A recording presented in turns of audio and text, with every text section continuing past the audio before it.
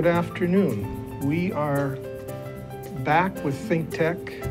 We are talking about Asia, and today we're doing a continuation of a prior program that I started. My name is Mark Shklov. Uh, I am the host of Law Across the Sea, and today we're reviewing and going back and talking a little bit more about Vietnam with Chuck Crumpton. And Chuck is an attorney, although he likes to be known more as a mediator and an arbitrator.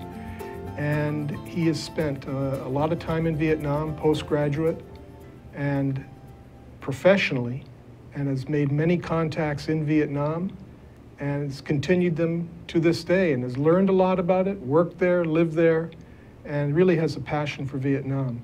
And we're going to ask him, put him on the spot a little bit, ask him some questions about Vietnam. And Chuck, good to see you again. Welcome. Mark, a pleasure. Good to be back with you. Uh, you know, Vietnam has, um, it's in the news a lot now. Uh, and last time we spoke about this, uh, about a month ago on Law Across the Sea, uh, it seemed to me that Vietnam's kind of coming out of its shell and is having a little more relations with the outside world than during the times when we grew up. What, what's going on with Vietnam? What, what's happening over there politically and uh, within, within the country with its people? What, what, what's happening? Uh, a, a, large and compound set of questions. Yeah, yeah, yeah. Well, I thought I said I'd put you on the spot. Yeah. Uh, well, I think it's kind of been evolving in the sense that uh, Vietnam has always envisioned itself as having an important role, a constructive role, and a different and very independent role in Southeast Asia. They recognized that with China that nearby, and with the long history that Vietnam has with China, including thousand years of Chinese uh, occupation, um, and some continuing tensions and strains politically and militarily, and then things that have been going on in what Vietnam and other Southeast Asian countries call the East Sea, China calls South China Sea. Uh, there are just a lot of reasons for Vietnam to enable its relationships to become more public, more visible, uh, and more connected on a larger and more international scale. So it's, it's kind of a little bit like, and they're, they're not like a youth who's growing into adulthood because Vietnam has over 4,000 years of culture. They've dealt with the Chinese, the French, the Americans, the Russians, and many, many others. So they're certainly not unsophisticated. Uh, but they recognize their size, their history, their economic and political background, and some of the things that may restrict or limit their ability to have influence internationally. And I think they're a very relationship building country, both at a personal level among the people and Vietnam itself as a country. And it's a very different approach to international politics than most Western countries use.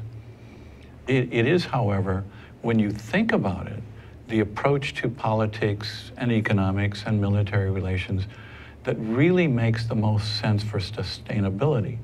Because when a country's independence is threatened, it depends upon and survives and thrives by those relationships with its allies, with its neighbors, with those who share core values that transcend some of the conflicts that may exist on more quantitatively measured labels like economic, political, and things like that.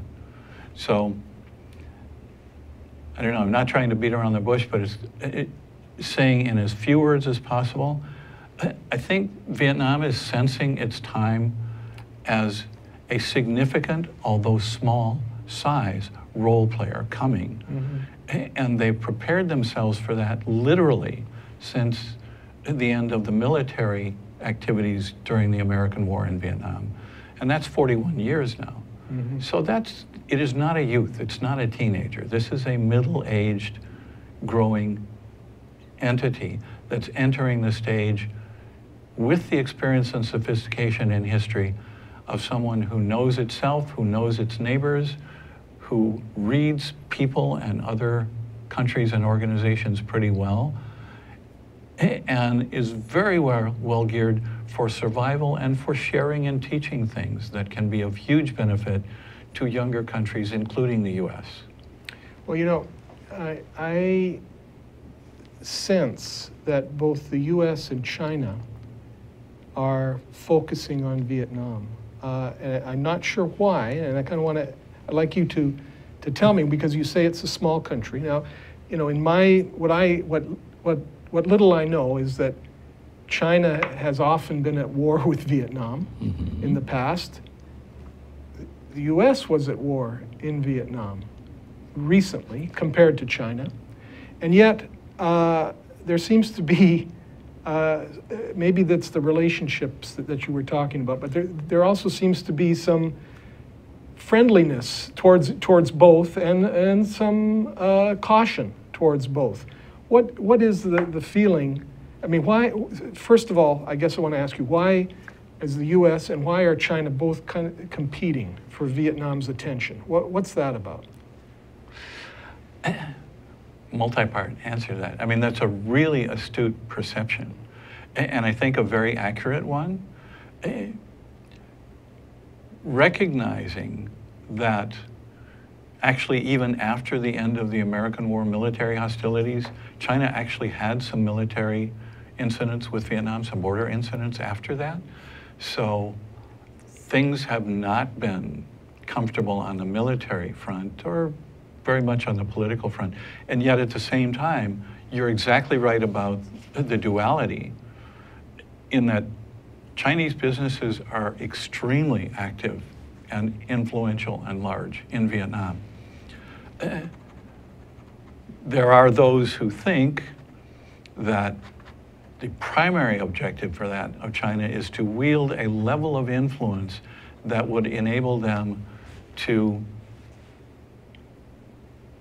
exert a lot of pressure on Vietnam's choices and directions, politically, economically. Um, my personal response, I'm kind of biased. Good luck with that. Um, eh, they tried for a thousand years and then they left. Eh, They've had some military skirmishes and that hasn't gone so well for them. They're doing what they're doing in the South China Sea eh, and they're getting away with a lot over there, which is interesting eh, because the countries that have the political and military force to exert some counter influence to that uh, are decidedly and consciously and intentionally not doing so. First and foremost among those, the US. Um, there are those who say the US is so intimidated by and afraid of China and offending China that it doesn't want to do anything to put them off. You know, I, I don't think we can totally discredit that. Uh, if you look at the conduct of China in the East Sea, the territorial acquisition, what has now been found by the International Court as utterly lacking in legal or historical basis, we haven't seen that kind of legally unjustified and historically unjustified expansion since World War II with Hitler, um, and some occasions by Japan. But to simply, and it's not even turning the other cheek, I mean, it's literally intentionally standing back and not taking a position. Why would the U.S. not support the Philippines in the arbitration? eh, given the common interest between the U.S. and the Philippines, and certainly common interests that the U.S. shares with other Asian in- countries. With respect to uh, Vietnam specifically, they have an interest, I think it's, is it, what is, the, the Paracels, is that correct? right, and the Spratlys. And the Spratlys. Right. Tho- And tho- others. tho- Those are islands uh, off Vietnam, and I guess there's, there, there may be oil-rich areas, and that, uh, may that have something to do with all of this? And, and by the way, from what I've read about Vietnam, they've never been afraid of the Chinese per se. They've That's nev- true. they- They've always, they've always fought, and they've never been afraid of the United States. That's true too. Uh, or the French or the Russians. They, or have anybody always else. fought. They might have been outgunned, Yeah. but, but they, they, they never backed down. Right. uh, as, from what I could see. Right. And, and so, so. But unlike us, the Vietnamese don't invade. Right. They, protect their own they people, their own their, country, land, their yeah, country. yeah. If somebody comes in and attempts to assert control in ways that are not supportive of the best interests of the people and country of Vietnam, Vietnam will resist Right. in whatever ways it finds effective. Eh, Sometimes it will just outlast them. Sometimes it will actually militarily defeat them, as they did France. Sometimes they will outlast them culturally, as they did with the Chinese over a thousand year period. Um, develop their own language and some of those things. I want to talk a little bit about the, uh, the South China Sea or the, Mhm. the EC, EC whatever. or whatever Okay. it's called. But, uh, but before I, I go there, so, so we, we have uh, China trying to um, continue or, or, or to get great influence in Vietnam of some sort, perhaps. And the U.S. has this, this pivot towards Asia, as it's called. Mhm. And maybe they're trying to get trade or i- Absolutely. in, in, in some way have more influence, and that mostly seems to be from Obama, and maybe his his background with Asia seems to be pushing towards that, from what I can see. So you have them, those two great powers, competing for influence and trade, perhaps, and and I, I think that uh, I can understand that. Now, what what does Vietnam want from China and the U.S.? What what is I mean, is, is it just playing them off against each other, or is, is there more to it? What, what's That, that is another astute perception.